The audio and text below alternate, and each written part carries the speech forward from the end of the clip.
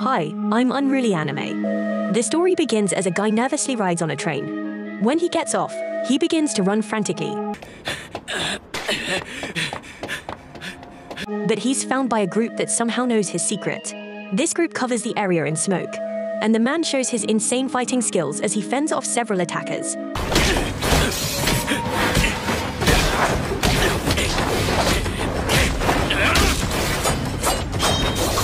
The attackers launch several blades at the man, so he pulls out a blade of his own. To fight back, the attackers then use metal needles called senbon. But this guy has crazy reflexes, catching them with his teeth and firing them back at the attackers. Unfortunately, this man is overwhelmed by their sheer number. He is captured when a contraption takes hold of his neck.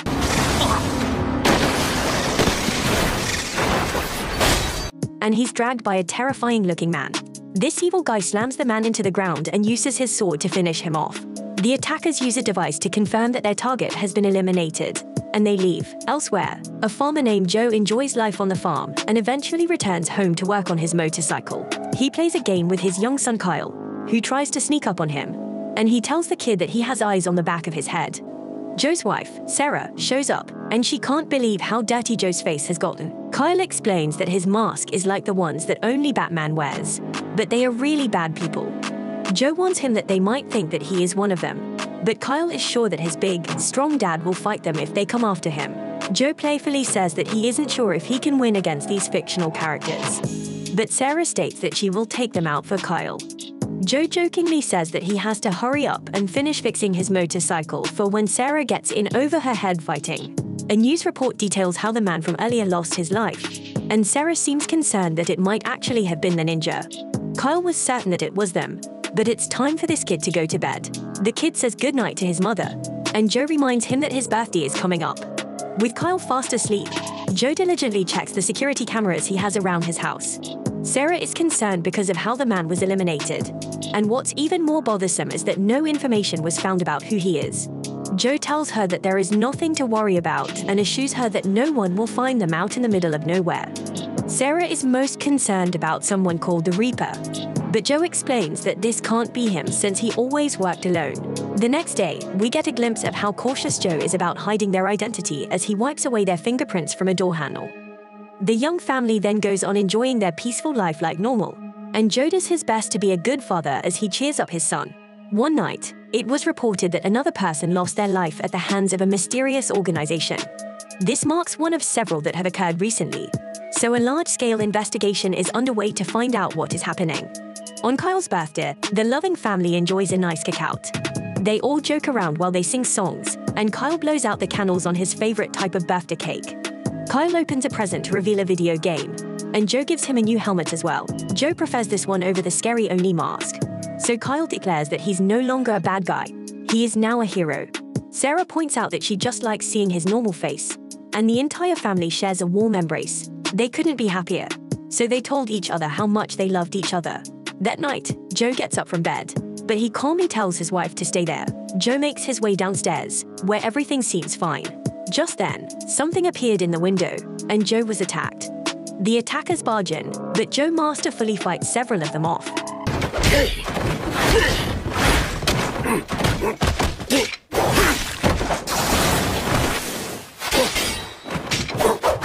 His exceptional skill allows him to take one of their weapons, and he uses his sword to eliminate several of these men. While he's destroying one guy, Joe hears his son cry out to him. The alert Joe instantly springs into action. He blocks an attacker who tries to stop him, and he absolutely destroys this guy. Joe rushes to find his family as he reaches for something, but another attacker fires two metal needles right through his neck. The determined Joe refuses to let that stop him, so he crawls up the stairs. The crippling pain overwhelms him, and we see a mysterious figure outside. Joe eventually makes it to the second floor, where he finds that several attackers have been eliminated. However, Joe is then horrified when he sees Kyle and Sarah's lifeless bodies on the ground. Overwhelming shock fills Joe's body, and the evil-looking guy explains that Joe's wife put up a good fight. This monster sends his blade right through her neck, igniting Joe with blinding rage, but he is stabbed in the back. Joe drags the attacker as he tries to make his way to his family, but the damage to his body is too much to overcome. The attackers find that someone must have alerted the authorities, as police sirens can be heard in the distance. The leader confirms that Joe is no longer alive, so they leave just before the police arrive. The police arrive at the scene and are horrified to find the massacred family. Some time later, the seemingly no longer alive Joe regains consciousness. His first thoughts are memories of his lifeless family, and he vomits solely from the overwhelming emotion consuming his body. The next time Joe wakes up, he is in a hospital, and the nurse urgently calls for a doctor. Joe only says his wife's name, and he passes out again. Joe eventually wakes up, and a doctor explains that he miraculously came back to life after the coroner had already pronounced him dead. Joe couldn't care less and just wants to know about his wife and son. Unfortunately, he is told that they didn't make it. Outside, we see that two people have come to visit him. They are Mike and Emma, and they are from the FBI. They want help with their investigation. So they ask several questions about who the attacker might have been. Joe doesn't say a single word, but Mike can tell that he is getting very angry. This is probably the worst time to be asking him questions. So Mike just leaves his card. Mike tells Emma that it's just a hunch, but he believes that Joe knows who the attackers are.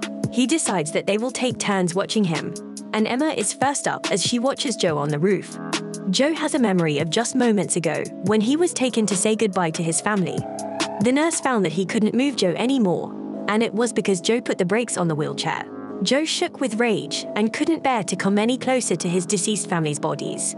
Back on the roof, memories of his wife and son rush into his mind, and Joe begins to growl in anger. His rage reaches its boiling point, and he reaches for his wrist again, this time pulling out a metal needle.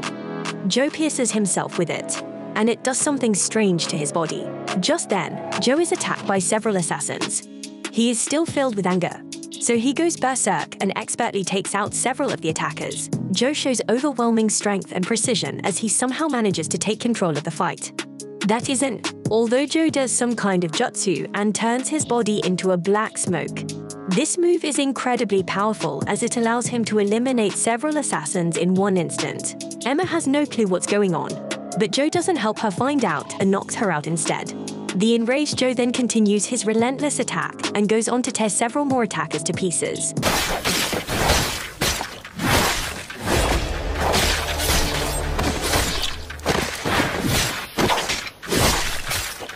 There are a great number of them, and Joe strangely fires a sword at the elevator. We then see why he did this, as he uses a pole to defend himself and shoves all the remaining assassins into the elevator. Even though Joe is severely outnumbered, it becomes very clear that the assassins are trapped inside with him and not the other way around. Joe stands above all their corpses as he arrives at another floor, and he strikes fear into the hearts of any remaining opponents. Mike wonders why Emma isn't answering his call and is shocked when he finds several corpses. Joe finishes up nearby, and he is found by the assassin leader. Memories once again find their way into Joe's mind, so he attacks the leader with fury. This leader is obviously not like the others, as he defends himself well and even manages to put a contraption around Joe's neck. Joe quickly frees himself, but the fight continues to be evenly matched. Joe eventually uses his shadow skill again, and it allows him to land a devastating attack. Joe quickly follows this up with even more strikes, and the fight is over soon after. Joe demands to know how they found him and his family and how they knew it was really him. The leader mockingly remarks that Joe can change his appearance as much as he wants, but he will never be able to escape his fate. Joe then shocks this guy and removes his disguise. Joe doesn't say a single word from here and just ends the leader's life. Joe then goes to see his family. He can hardly bear to look, and he collapses to his knees. Afterwards, Joe returns home and drills a hole into a wall. He removes a box he had hidden, and we see that it contains several items, including a mask. Joe stares at a picture that once again floods his mind with memories of his family. We get one last look at his family home just before Joe sets it on fire. Joe watches as his once love filled and peaceful life burns away, and he puts on the mask. The fire consumes every last memory, but we see that Joe is still filled with anger. Later, Joe recalls the horrifying moment when his family died. This time, his wife calls out to him by his real name, Higan. His family no longer has him under disguise, and Joe's son screams out to him. Just then, Joe wakes up from the horrifying nightmare and we see that he has tied up the assassin leader. Joe is in real bad shape and collapses. Joe is surprised to hear that someone has arrived, and this man is just as shocked as he thought the next time they would see each other would be in the afterlife. This man is a doctor, and he wonders why Joe isn't wearing his disguise. Joe reveals that the organization somehow found a way to see through the masking system they were using. The doctor wonders why Joe's body always gets beat up, but he then realizes why when he sees Joe's arm. Joe used the secret art of stark awareness, which explains what he did when he stabbed himself on the roof. The doctor tells Joe never to use it again since it will surely end his life next time. When he sees Joe's back, he tells him to forget about it next time since he should have died when he was stabbed. Joe has no clue why he was able to survive, and the doctor wonders if someone out there is keeping him alive. It will take six whole days for Joe to make a full recovery, but who just wants to get well enough to get answers out of his guests that he has all tied up. The doctor wonders what Joe plans to do after that, and his answer is simple. He will hunt down everyone responsible for the murder of his family. The doctor gives Joe something to help him recover, but it hurts a whole lot, and he passes out. After Joe recovers a bit, he goes to see the assassin leader. Joe doesn't say a single word and just gets right to punching a blade into him. Joe stabs him several times, but the man reminds him that ninjas never crack. Joe shocks him when he points out that he already knows and just continues stabbing. Joe doesn't stop as days pass, and the assassin eventually tries to ask what Joe was trying to prove. He pleads with Joe to end his life already, but Joe just ignores him. Several more days pass, but Joe's not finished, and he keeps causing the guy pain. One day, Joe douses him in gasoline. The assassin starts talking really crazy and wishes Joe would have seen the look on his wife's face. The assassin was not impressed with Joe's son since he was just scared like everyone else. But Joe's wife was different. Her eyes were filled with anger and hatred until the very end. This psycho pushes even further and tells Joe that his wife cried more and more every time he plunged his sword into her. Joe calmly tells him to listen closely, and he explains that he's going to burn his family's eyes into his memory forever. He then goes on to describe the incredible pain he's going to make him feel. Joe tells him that he will never really have the sweet relief of death, as he will always have to tremble in fear of the only thing that lies beyond. Joe lights this guy on fire, and he just watches as the assassin screams in agony elsewhere. Mike has taken over the investigation regarding Joe Logan. It's an order from the higher-ups, as they are upset about what happened at the hospital. There were no cameras on the roof, and they don't know who the blood belongs to. Mike points out that Emma saw everything, but his boss suggests that he ask her again since she seems to have changed her story. Mike is furious with Emma for just giving up, but she laughs at how obvious it is that the higher-ups are trying to cover this up. Something shady is going on, and she knows that the best course of action is to just act obedient. In secret, though she has been investigating Logan and his family, she has discovered that they are all using aliases, and none of them actually exist. Back with Joe, he takes a look at the device that creates his disguise and thinks back to how he was told that it would protect everyone. He then rides off on his motorcycle to begin his search, but finds that the first place he checks is empty. Joe would go on to travel long distances to check out other places, but all he ever found was disappointment. The last place he checks is empty as well, and his frustration begins to mount. That night, some corrupt cops enter a bar and they get upset when the bartender doesn't give them enough money. Joe was sitting right there, and one cop thinks it would be a good idea to ask him if his motorcycle outside is stolen. Joe just ignores this guy, so the cop asks for his license. Joe ignores him again, so the cop tries to grab him, but Joe quickly knocks him out. Joe calmly just leaves, but the other cop tries to attack him from behind. Joe doesn't even touch the guy when he throws a punch, but the sheer force from Joe's swing sends the cop flying outside. Joe takes a look at their cop car and is reminded of the business card that Mike gave him. The next day, Mike thinks Emma's just messing around, but she points out that she is investigating a crime. Many criminal deals are being done in virtual reality now, and she has to get this job done so they can have time to investigate Joe.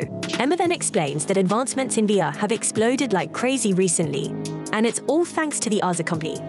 Just then, Mike is shocked when he receives a call from Joe.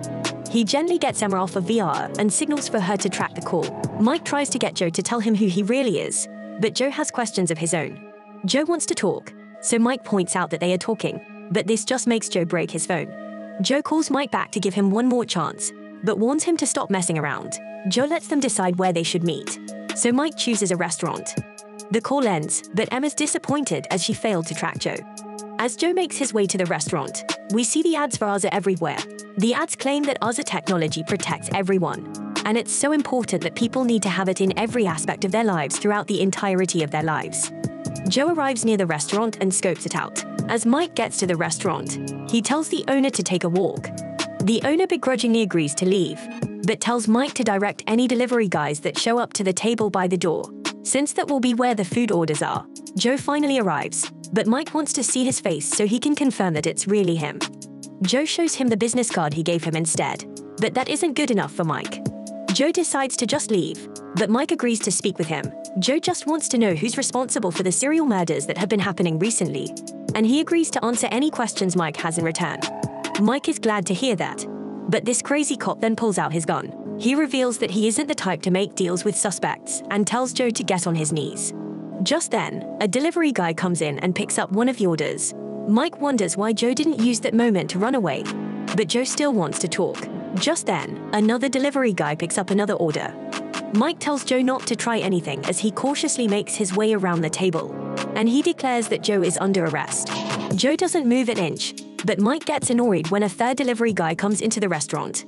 Mike gets confused when he notices that there are no more orders that need to be picked up, and this delivery guy goes in for an attack. Joe quickly springs into action to stop the strike, but his face gets exposed, and Mike wonders who he is. Joe finds himself in a fight, but it's clear that this attacker is no delivery guy. Mike tries to arrest them both, but he must open fire when the fake delivery guy goes to attack him. Joe has to save him from being killed, and the fight intensifies when the attack reveals that he has another set of arms. Joe gets pushed back, but he uses his shadow jujutsu thing to bring forth four arms and two heads. The intense battle continues, but Joe simply has more arms than this guy now, and he takes hold of him. Joe pushes him back and prepares to end the fight, but he realizes that the guy's extra set of arms was actually a whole other person that was just hiding in his back. The second guy attacks him from behind, and Joe does his best to fight against these two deadly opponents.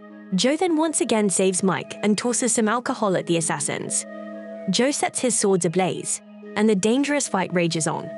Joe eventually chugs some of the alcohol and uses it to shoot a fireball at his opponents. He takes this opportunity to launch all his blades at them, pinning one guy and absolutely destroying the other. The insane fight is over, so stun Mike, please, for Joe to tell him who he is. Joe just says the word Peking duck. But Mike gets upset since that is just one of the items on the restaurant's menu. Mike wants to know where the guy from the hospital is, so Joe uses the device to show him his disguise. Joe reveals that he is a ninja. These fake delivery guys were as well, and so were the guys at the hospital. Just then, the two of them have to take cover as the group shoots at them from outside. Things get even worse when they look outside, as one of the attackers fires a rocket at them. The entire place explodes, and the attackers take off. Joe is nowhere to be found, but we see that he's up above watching Mike. Mike looks at his chest to see that the ninja's blade cut right through his body armor. The blade doesn't even have a single scratch on it, even after the entire fight with Joe. So Mike wonders who could have made such a crazy weapon.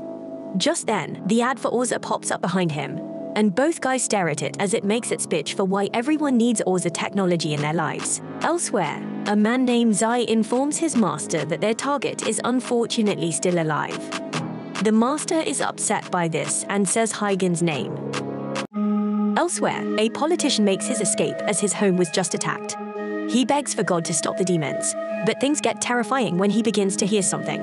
Just then, a few terrifying hands come out of nowhere and end their lives. The man responsible watches nearby and seems to take a strange liking to Joe, whom he has a picture of on his phone. Afterwards, this guy is visited by Master Yamaji. He complains that this last job was extremely boring and declares that his talent should be reserved for more exciting missions. Yamaji reminds him that he is simply a sword, and weapons like his have no will of their own. Yamaji then states that exiles like Higan are no longer considered ninjas. They are treated as enemies the moment they leave, they must be eliminated immediately, as they can't afford to have anyone find out about their secret arts. Higan is one of the most elite ninjas in the entire history of Japan. He has mastered countless fighting techniques and is completely ruthless when it comes to eliminating his targets. They already killed him once, but they believe that he was able to survive because he used his secret art. Yamaji wants to eliminate him for good this time, as he wants to find a way to uncover Higan's technique. Yamaji has already ordered preparations for this, but the other guy's more concerned with the one known as the Reaper. Elsewhere, a man in red is disappointed to see that someone named Zai has forgotten everything he taught him about fighting with pride. What he does now is just violence, so the man wonders how many of his former comrades he has killed now. Zai is eliminating the ones exiled from the corrupt organization, but this guy brings up how they failed to kill Higan. Higan proved that those who have faith in the old ways will not fall for people like Zai. The man in red is sure that once the other exiles find out about that, they will stand against the organization just like he is. The man in red was the one that taught Zai how to wield a blade, but now he must put an end to what he started. He unleashes an insanely powerful strike and tells Zai that it's impossible to defend against a blade of wind. This is his secret art, called the Flying Swallow. Zai is still alive, but the man is sure that won't be the case for much longer. He plans to use the attack again, but he realizes that Zai's sword is missing. A look at his chest reveals that Zai somehow managed to stab him, and he is defeated. He is prepared to go to the pits of hell, where he will wait for Zai to come. Back with the other guys, Yamaji reveals that he has forbidden the Reaper from engaging with Higan. At the police station, Mike is told that the attack at the restaurant was just the mafia. Mike is furious at how obvious the cover up is, and he is called by his boss. Mike is reminded that he will be retiring soon, so it's recommended that he not mess it up by sticking his nose where it doesn't belong. His boss wants him to stay home until his retirement day, and he leaves Mike with some papers. Elsewhere, Joe is at a hideout and starts a fire. He's once again haunted by the memories of his family, so he must take a moment to calm himself down. Mike arrives to meet him just as planned, but he points out that the restaurant owner was framed. He wants to do something about that later, but for now they will enjoy some Peking duck. Inside, they go over what they know so far. The blades used in the attack were made of a special alloy, and the patent on that alloy is held by AUZA. There is clearly a connection between them and the ninja, but Mike still needs to do more digging to find out more. AUZA is a very dangerous company, and as they have the FBI in their back pocket, Joe couldn't care less about how dangerous they are. They killed his family. So he declares that he will now hunt down every last one of them and make them pay. Mike reminds him that he will have to arrest him if he does that. But he decides that there are a lot of other dirtbags that he needs to handcuff first. Mike isn't ready to retire just yet. So he burns the papers and makes a truce with Joe. Joe pours him a drink and explains that this is how alliances are formed. This is alcohol, since Joe just prefers drinking energy drinks. Mike is familiar with someone who knows a thing or two about AUZA, so they go to meet with Emma. Mike teases her for her piece of junk car, but she's quick to point out that his car is even worse. Joe proves to be a serious car enthusiast, as he knows everything about her Beetle, but he's shocked to hear that she knows he is a ninja. Mike explains that he can trust her, but he must quiet her down when she starts talking too much. Emma has them squeezed into her tiny car and shows off all the tech she has installed in it. It's practically a giant moving computer that she built all by herself. Her research has revealed that AUZA is a multinational company involved in the development of military weapons. That's not all, as it also has a hand in entertainment, clean energy, and pretty much every technology that exists. It's like they are taking everything over, as their products are constantly replacing various software and hardware every day. Every country uses its technology to some extent, but that rapid growth has caused a lot of dark rumors to spread about them. Several people who were inconveniences to their company, like key figures, rival organizations, and journalists investigating them, have died in mysterious ways. The most recent person was the bald politician who died earlier in what they think was a car accident. He refused to allow foreign companies into his country. But the guy who has replaced him is doing the exact opposite. He's actively attracting foreign companies, and one of them is AUZA, these deaths seem to be far too convenient for AUZA, so she suspects that they are behind it all. Elsewhere, some scientists show their boss a remarkable reactor. It's performing even better than the last time they tested it, as it's now capable of producing 2 million kilowatts of power per second.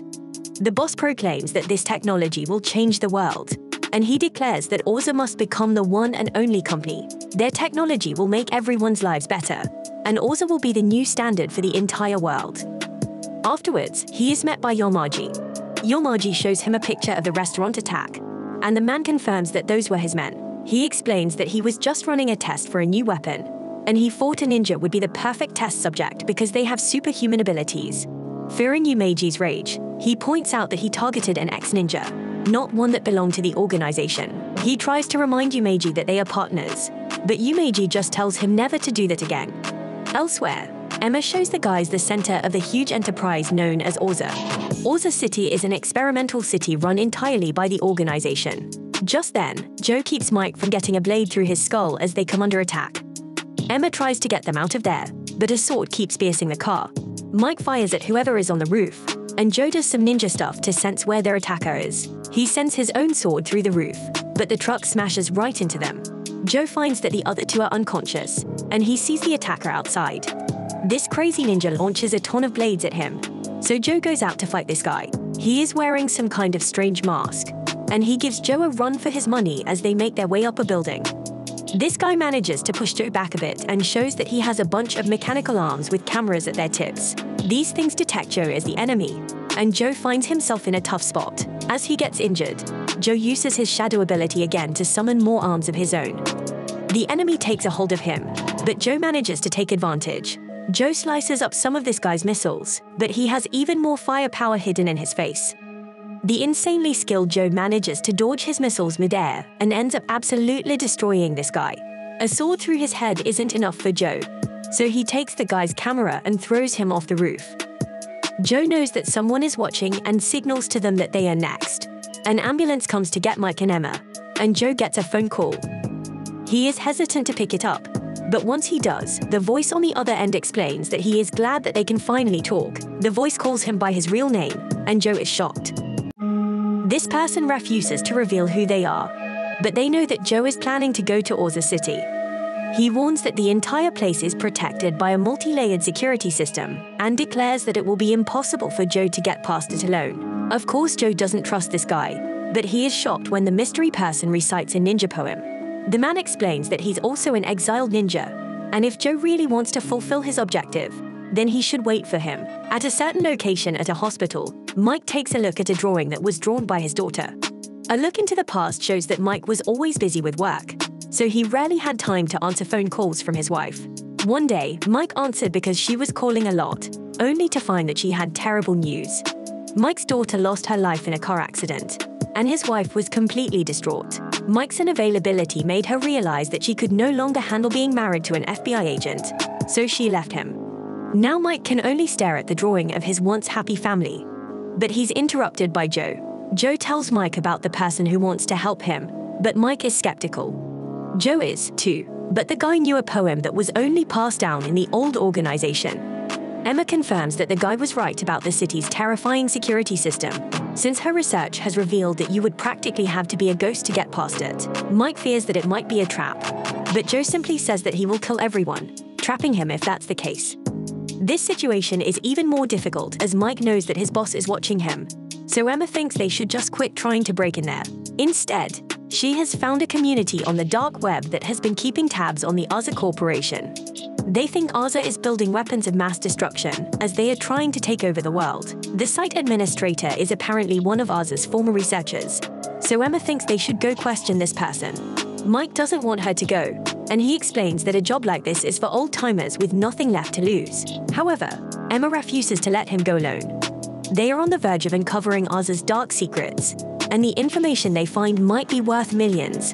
Joe begins to leave, but Mike wants to know if Joe's wife knew who he really was. Joe informs him that she did, since she was also a ninja. In order for them to be together, they had to break a code. There is a code that says ninjas must be emotionally detached, even from their allies. Mike realizes what kind of person Joe is, as this means he broke the code and chose his family. Elsewhere, AUZA, Executive Joseph, is very impressed after hearing that Joe was able to survive the last attack. Even just one of the mass-produced units could destroy an entire army platoon. But they were no match for Joe.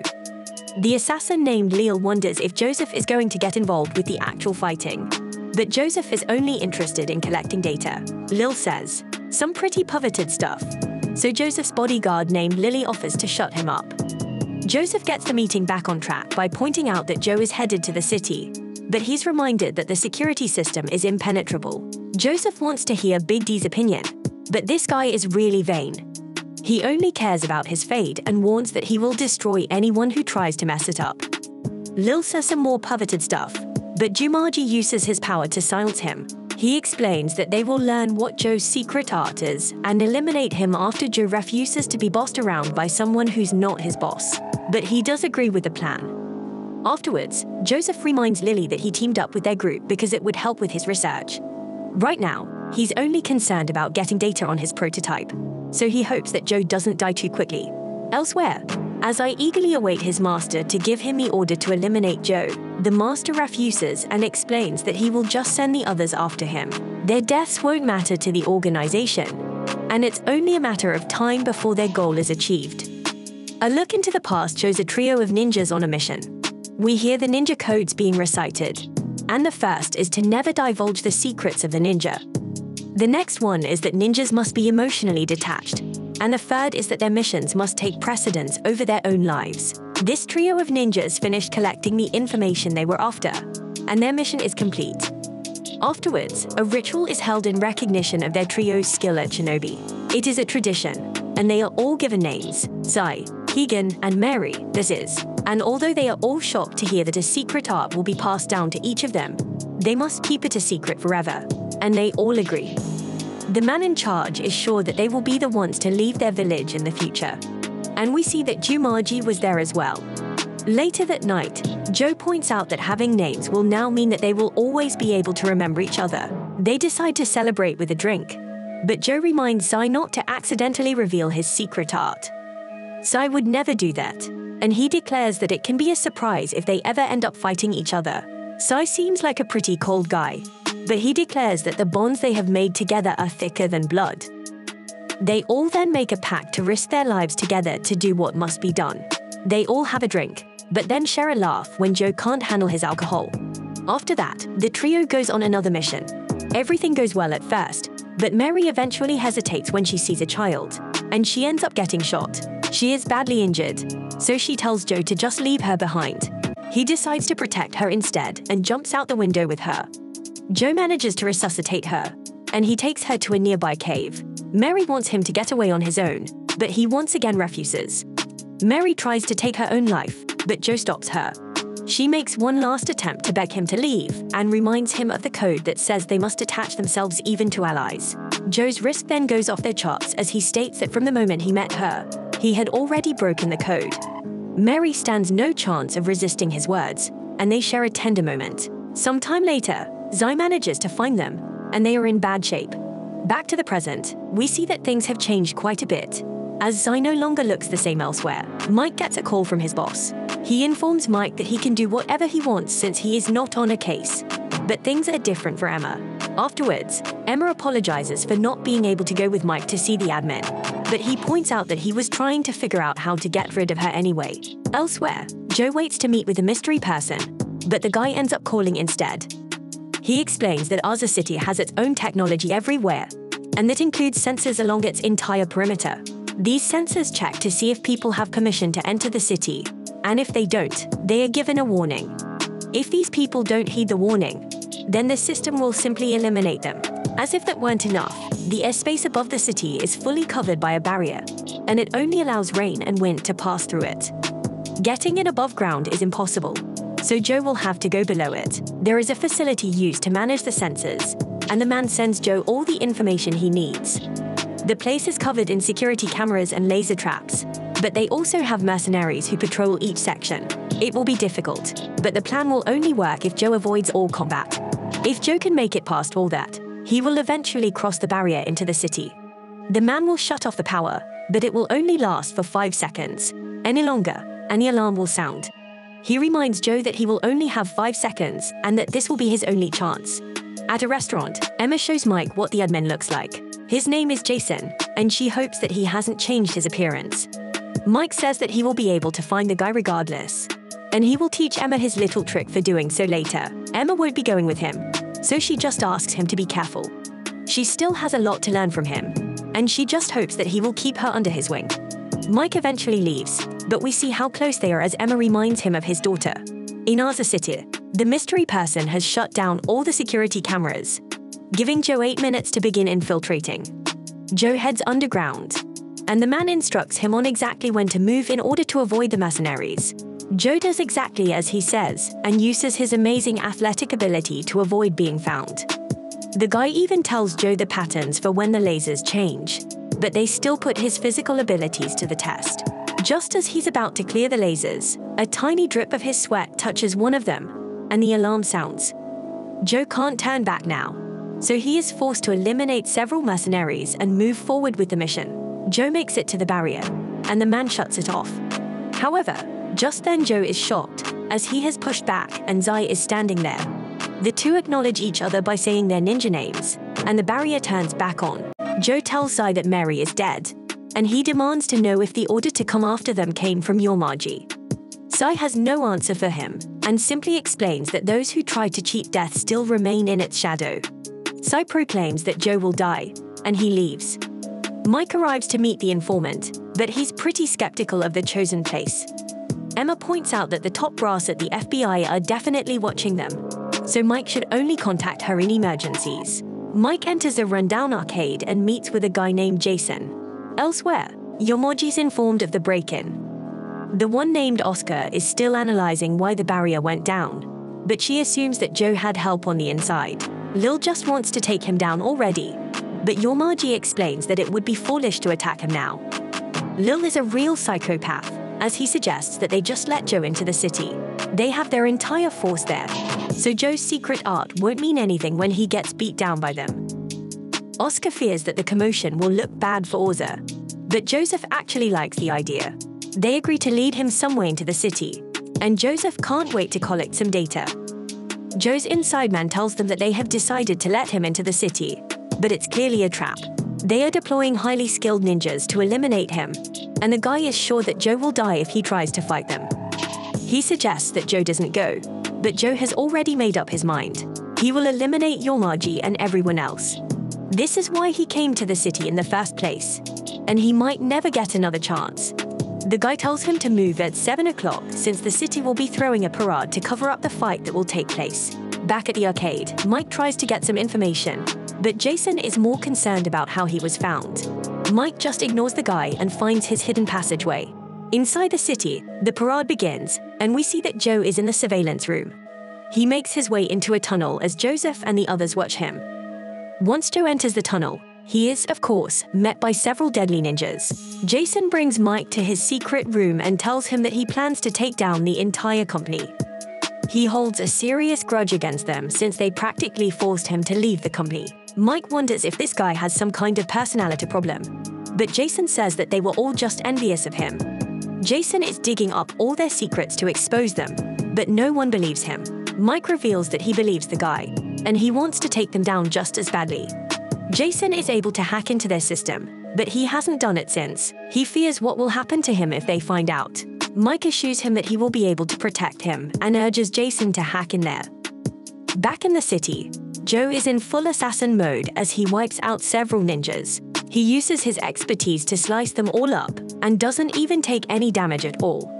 Joe even uses one nasty trick where he loads up a bunch of explosives into one of the ninjas' mouths and blows the group to smithereens. The fireworks are doing well to cover up the fight, and we see that Zai is patiently waiting. Back with Mike, Jason has hacked into the AUZA system but hasn't found anything unusual yet. Eventually, they find a list of social security numbers with prices on them. The file is called Bound, which seems to be the name of some corporate spy group. It looks like AUZA is buying fake identities so they can plant operatives. This proves that they are corrupt, but they still haven't found anything about ninjas. Just then, Mike is shocked to see Emma's name on the list, and he wonders what's going on. Alarms go off as Jason gets kicked out of the system, and he sees that they have company outside. They take cover as the arcade is infiltrated, and Mike cleverly distracts the intruders. They manage to get away, and Mike realizes that the FBI must have ratted him out. Jason is absolutely terrified, and Mike tells him that those guys were probably mercenaries hired by AUZA. Back in the city, Joe continues his assault as he makes his way into a building and wipes out several more opponents. Mike tries to contact Emma, but she oddly doesn't answer. Things get pretty bad as they are chased by the mercenaries, and Mike's junk car doesn't go very fast. Mike tries to fire back at the mercenaries, even though he is heavily outgunned, but he doesn't manage to do much. Jason is a lunatic, as he gets an idea and manages to get a bus to crash into one of their pursuers. Mike has him slam on the brakes, and he shows off his sharpshooting skills by taking out two of the mercenaries. The car brake checks them, so Jason must take cover, and Mike fires at the last, mercenary. Joe makes his way through the building, and some of the final guards are terrified of him. Joe was a man on a mission, and his breathing gets heavy as his mind is overrun by memories of his family. On the top floor, Joe was met by Lil and some of the other assassins, who were impressed that he had made it this far. Joseph watches and eagerly awaits to see the results of this test. Joe looks at a helicopter and becomes furious when he realizes that Yamaji is watching.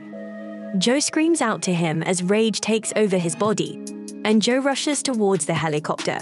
However, he is stopped by one of the assassins.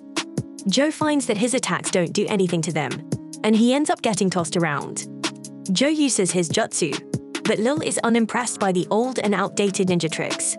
Joe manages to surprise him with some smoke bombs and shows that his only real target is Yamaji. Joe screams Yamaji's name like a man possessed as he launches himself towards the helicopter, but his grapple is severed. The fall does some serious damage as Joe's mask breaks.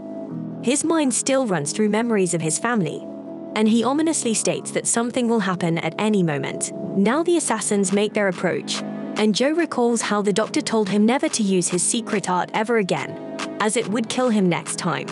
Joe has nothing left to lose as he prepares to remove the needle from his wrist, and he proclaims that he will be together with his family soon. Joe removes the needle once again and stabs himself with it. Joe's body spazzes out just like last time, and he takes a hit from one of the assassins. The assassins will throw him around once more, and Lil taunt him while he's in the air. However, this time Joe manages to stab one of them. He covers the area in smoke to conceal himself, but he is eventually spotted. Joe is able to maneuver himself in and out of the smoke, and he manages to stab another assassin. Joe's blinding speed allows him to dodge several attacks, including some kind of fireball, and he starts a terrifying incantation. However, before he can use the attack, Joe takes some serious damage from the pink assassin. Lil takes Joe for himself and rains punches down on him. The assassins continue to thrash him about, causing Joe to scream in pain, and Lil has already gotten bored by the fight. Just then, Lil stops the beating, as someone has appeared. It begins to rain, and Zai arrives to ask if Joe finally understands. He explains that the path to hell Joe was on is inescapable.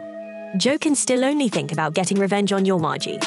He mindlessly attacks Zai, but only ends up getting tossed onto the ground. Joe just says Yamaji's name over and over again, so Zai prepares to take his life. Zai declares that everything ends now, and Joe doesn't say a word as he just prepares for death. Zai swings his blade, and everyone watches in absolute shock. Zai stares in disbelief as his attack is stopped by the pink assassin. The assassin placed devices on the others to shut them down, and they jumped off the roof of the building with Joe. This assassin detonates a bomb, and the massive explosion prevents Zai from following them. Yamaji's left to watch the failed attack, and Joe's eyes open to see that he is still alive. Elsewhere, we see that Mike is in bad shape, as he must be carried by Jason through the desert. Back with Joe, he is still falling from the building. His hand reaches towards the sky as if he were reaching for something, but he soon loses consciousness. The assassins look over the edge of the building to find that Joe is long gone. One of them wonders why the assassin betrayed them, but Lil couldn't care less, as he was just excited for the hunt. The next day, a seemingly average guy hears a message from Lil. His message is also heard by other assassins who blend in naturally with other members of society. Lil calls these assassins brave falcons, and he informs them that the treacherous crow has just flown from the nest. The crow deceived everyone and is now sheltering their greatest enemy, the tiger. Lil then issues an order to not let them leave the city. He wants them to find the two at all costs and tear their hearts out. Elsewhere, Joe wakes up, and his savior is revealed to be Emma. Emma is actually just one of her personas, and this isn't even her real face. When Joe came back to life at the hospital, she was instructed by the leader of the organization to uncover the truth behind his resurrection. They assumed that he had the ability to revive himself over and over again, so they wanted to understand his technique. Secret arts are only used in the heat of battle, so she had to observe him close up. This is why she pretended to be Emma from the FBI. This is her identity as a ninja of the organization, but she has another one. Joe was then shocked as she changed her voice to that of the mysterious man who was helping him break into the city. Her reason for helping Joe was so Joe could get his revenge. This is pretty unbelievable since she was observing Joe as Emma under orders from the organization, but she was also betraying the organization to help Joe. She reveals that she has her own goals, and she needs Joe to be alive in order to achieve them. She declares that the lieutenants he just fought are far too dangerous since they are equipped with very powerful suits. Joe's secret art will be useless against them, and he will die if he tries to fight them again.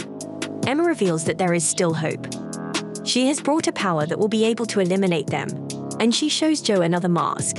Back with Yamaji, he is told about a suit that their traitors stole. It was still in development, and she seemed to have prepared for this betrayal far in advance. Yamaji isn't concerned about it at all, as he is sure that they will soon be captured. These suits are called Gusoku gear. They are ultra high grade combat suits designed to work perfectly with all sorts of ninja techniques. They combine, and in just several years of history, with cutting edge technology. Emma was part of the development team, so she reveals that the suit she stole is the most advanced of them all. All she has to do is finish it, and it will be like a whole new body for Joe. Emma has no answer for what will happen if the organization finds them first, but we see that they're having a hard time. Elsewhere, Mike regains consciousness, and Jason scolds Mike for having to protect him.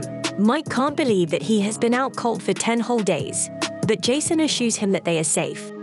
He brought them to an isolated house owned by some rich guy, and no one ever goes there. Mike looks on the bright side and points out that getting attacked means that they were close to uncovering some secrets. Back with Joe, Emma runs a test on the suit, but it fails. They need a power reactor that serves as the heart of the suit, but parts like that are only available at headquarters. Going there would mean certain death, so that only leaves one option that she isn't looking forward to. Joe is still haunted by memories of that terrible day, and we take a look back to when he was with Mary. She bandaged Joe up and told him about her ninja philosophy. She believed that having the willpower to manage one's emotions when they're at their most extreme would make them invincible. Joe manages to use this memory to calm himself down, but we see that the organization is closing in on their location. They have one last place to check, so Big D requests to go since he has a good feeling about it. Back at the hideout, Emma finishes up with the reactor in the armor plating, and she just has a bit more to do. A while later, she reveals that she is done, and this suit will now be called Kamui. It's a prototype model built from scratch, and it is meant to achieve the highest level of combat potential. It's an entirely new design, so it works much differently than the other suits. Simply wearing it won't be enough to tap into its power, and the suit has to be linked to the user's brain. The suit reacts the instant the user just thinks of using it, so its reaction time is unlike anything ever seen before. Furthermore, the more intensely the user visualizes their own actions, the faster and stronger the suit will execute them. The only catch is that syncing the user's brain is quite an ordeal. Joe will be put into a deep sleep, and he won't be able to wake up even if he were stabbed in the heart.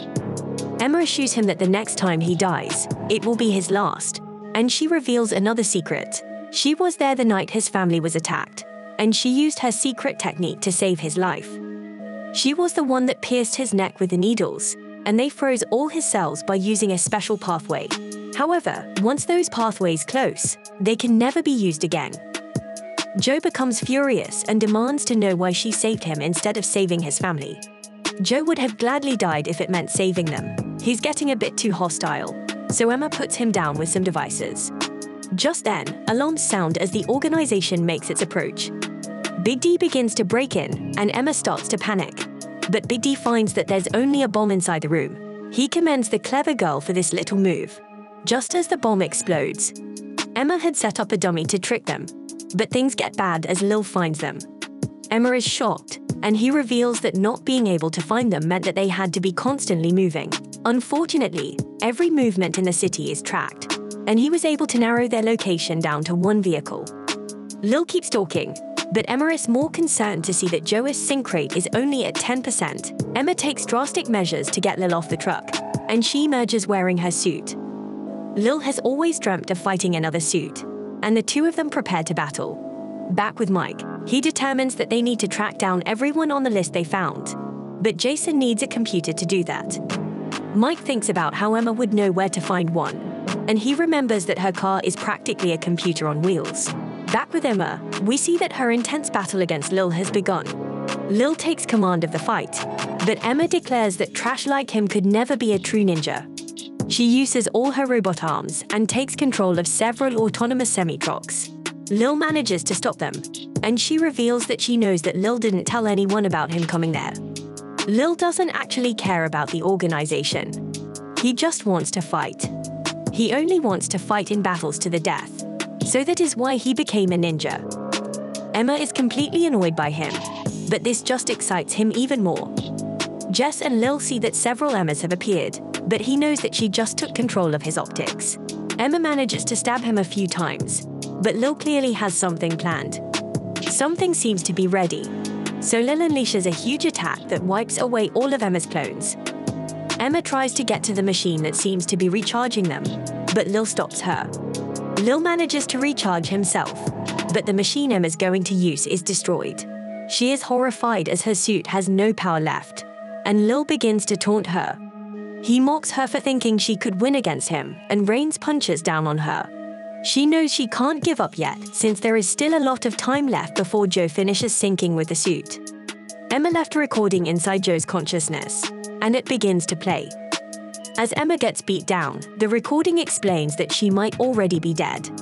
It also reveals that Mary once saved her life, and ever since then, they have secretly stayed in touch. On the night of the attack, Emma rushed to their house to save them, but she was too late. Joe was the only one she could save, so she apologizes for what happened. Mary always wished for Joe to live on, so Emma was just trying to make Mary's wish come true. Emma has done all she can, and she says goodbye to Joe. Just then, the raging fire within Joe forces the sync to finish sooner than expected, and the entire city loses energy. Joe remembers the words Mary told him about keeping emotions in check, and everyone watches, waiting to see what will happen. Just then, Joe's suit lights up from within the darkness. Everyone watches in anticipation, and Lil begins to taunt Joe. He knew that Joe would be the one to give him a challenge, and he gets proven right when Joe crushes him. Lil just lays there as Joe approaches, and Joe brings out his weapons. Lil buys himself some time, and he pushes Joe back, and they begin to fight. Lil gets really excited and proclaims that he can feel Joe's rage and thirst for blood. Lil decides to match his intensity, so he uses a powerful attack. Joe is amazingly able to dodge this barrage of projectiles, shocking Lil, and Joe remembers what Emma told him. The more intensely that he visualizes his own actions, the faster and stronger the suit will execute them. Joe uses this fact to move at an ultra-fast speed, and he dodges Lil's attack. Lil has had enough, so he launches a huge fireball at Joe. But Joe is a powerful monster now, and he just dives right through the flames. He pushes Lil through several walls, and Lil concedes that he couldn't do anything against Joe. Lil can now see what a real ninja looks like, and he exclaims that he doesn't regret anything. He feels completely content, but shockingly decides that they should leave this world together. Emma arrives in that moment and watches as Lil blows them both away. Joe is completely unharmed, and he declares that Lil's death will be anything but quick and painless. Joe will have no mercy on him, and Lil calls him a vicious, nasty monster. Sometime later, Dilai explains that they received Little Severed Head as a warning from Joe. Joseph is completely amazed by Joe, as he points out that Joe was able to handle the suit perfectly on his first try. Joseph wants to analyze him, so he suggests that they try to make a deal, but that's out of the question. Yamaji decides that he will have to speed up his plan since all that matters is his cause. Joseph watches him leave and declares that his words were spoken like a true ninja. Back with our protagonist, Emma assures him that they should be safer now. The suit-wearing lieutenants are regarded as having the ultimate power within the organization. Joe just wiped the floor with one of them, so they will probably wait to fight him again until they have a surefire way to eliminate him. We then watch as Yamaji speaks with Zai. Zai vows to carry out any mission that Yamaji wants him to. So Yamaji decides that he will no longer hold Zai back. He allows Zai to go and end Joe's life, and he declares that Joe will die by his hand. Back in the truck, Emma notices that Joe is staring at her, so she explains that she refuses to date married guys. She has it all wrong, as Joe just wants to know what kind of relationship she had with Mary. Emma explains that she wouldn't be who she is today if it weren't for Mary, as Mary was her savior. A look into the past shows the disguised Emma eliminating a target. She was shocked when someone put a blade around her neck, and this turned out to be Mary. Mary was impressed with her work, so she made Emma her partner. Mary was the first mentor Emma ever had, and she admired her because Mary always completed her mission without fail. To her, Mary was the ideal ninja. At the time, Zai and Mary were known as the best ninjas, and everyone was convinced that one of them would eventually inherit control of the organization. One day, Mary wondered why Emma always wore a mask. Emma explained that her face got all mashed up in an accident that left her horribly disfigured. Her parents couldn't even bear to look at her, so they just left her. She was completely alone until the day that she was adopted by the organization. The previous chief directly pointed out that she no longer had the face of a respectable human. However, that is also what will allow her to transform herself into anyone. Emma was inspired by these words, and the chief declared that she will now live the rest of her life as a ninja. She used this inspiration to become a master of disguise so that she could transform herself into whoever she pleased. After hearing this, Mary removed her mask and told her that she was beautiful. Emma didn't want her pity, but Mary explained that she is serious and Emma is the most beautiful person she has ever seen. Emma tells Joe how amazing Mary was since her words were so convincing. One day, Mary told Emma about how she grew up with Zai and Joe. The two guys always seem pretty intimidating to everyone, but she revealed that they're actually just immature boys. The two of them were very precious to her, but this worried Emma. Growing attached to people gives rise to emotion, and those feelings can end up distracting them on the battlefield. Emotions are what got Ninja killed, and that is why their code forbids such attachments. Sometime later, Mary revealed her secret art to Emma. She was able to make it appear like someone had died by putting their body in a state of suspended animation. Emma was shocked when Mary decided that she wanted to teach it to her. And she pointed out that secret art should never be revealed to anyone under any circumstance. Mary had already made up her mind, since there would be a day when Emma would have to use it. Emma considers these days with Mary the happiest of her life, but they eventually ended very abruptly. Yamaji took over as chief and, for some reason, invited outsiders to join the organization. Yamaji would one day ask Emma what she thought Ninja's pride was, and she responded that it meant protecting the peace of Japan. He wondered what would happen if Japan disappeared, and if the ninja would follow it into non-existence. Eventually, the old chief passed away. Yamaji started changing the organization even more, but this was beginning to upset a lot of people. One night, Mary revealed to Emma that she had a baby growing inside of her. Emma was shocked, but she was even more stunned when Mary explained that it happened because she fell in love with someone. Mary decided that she no longer had a place in the organization as she had broken the code. After that, Joe was amazed by her pregnancy, but he explained that being a ninja was the only way he knew how to live. He would have to learn to become a father, but he doubted that he could do it. Mary assured him that they would be fine since they would be parenting together. A while after that, Yamaji announced that the organization would be leaving Japan and would fall under the control of a great power. Everyone was upset, but he declared that anyone who opposed the decision would be branded into exile and eliminated. Protecting Japan is their pride, so a select few stood against Yamaji's decision. Two of them even tried to attack him, but Yamaji has a terrifying power that allows him to grab people from far away. He sliced up his opponents, and the crazy guy even stomped on one of their heads. Some wanted to take action against him, but this just caused the group to become divided. Yamaji declared that he was the true embodiment of a ninja, so the ninja will never die as long as he is alive. A group would eventually form with the goal of ending Yamaji's life. But one of the elder ninja explained that they would all likely lose their lives trying. Instead, he decided that they would flee the organization in the hopes of passing down their will. They would have to bear the disgrace of becoming fugitives, but that was their new resolve. Mary went to meet with this elder, and she revealed that she had created something that would allow them to change their faces. She gave it to the people planning to flee, and the elder wished her luck raising her child. Some time later, Emma confronted Mary. The previous chief gave her the top secret mission of determining whether or not the next candidate to be their leader was worthy. If they were unworthy, then she was instructed to eliminate them. Mary pointed out that the chief had been dead for a long time, and Emma explained that he gave her the mission a long time ago. Emma apologized for deceiving her, but she had to carry out the chief's wish. Mary then shocked her as she revealed that she knew the entire time. Emma begged her to just give up her child so she could return to the organization. Mary refused, so they fought, and she quickly realized that Emma had been hiding her real power this entire time. Sadly, Emma revealed that she couldn't even picture what her parents used to look like. And every time she tried, she just kept picturing Mary. The two had to keep fighting, and Emma eventually won. Emma knew better as she pointed out that Mary moved to protect her baby at the last moment. If she hadn't done that, then Mary would have won. Emma struggled to eliminate Mary. She always wanted to become a ninja, but the organization had changed so much. She couldn't bring herself to flee, since she wouldn't be able to bear the shame. Instead, she decided to unlive herself, but Mary stopped her. She explained that ninjas can't have emotions, so they have no family.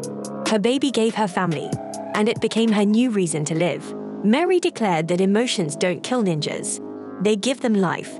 Mary explained that she had always considered Emma family, and Emma teared up as she felt the same way. Emma decided to remain a member of the organization so that she could track what they were doing from the inside. Emma would always keep in contact with Mary, and she even informed her when she was sent on a mission to infiltrate the FBI. Mary always talked to her about the difficulties of raising a child, but she would never trade it for anything. To Emma, Mary always exemplified what it meant to be a ninja. Because of that, Emma decided to see her duty through to the very end. This allowed her to do some digging from the inside, and she has discovered what Yamaji is planning to do. They're running out of time to stop him, as Yamaji is already executing his master plan. I appreciate you viewing my anime recap, Unruly Family. Please let me know what you think about Ninja Kamui by liking, sharing, subscribing, and leaving a comment.